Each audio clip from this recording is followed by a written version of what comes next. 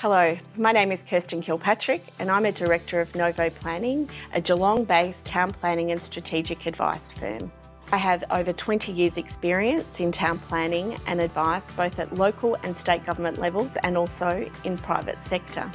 I'm very passionate about Geelong and I've worked with many clients in the city, both from residential, small development projects to large-scale commercial projects throughout Bellarine, Surf Coast and in the inner city.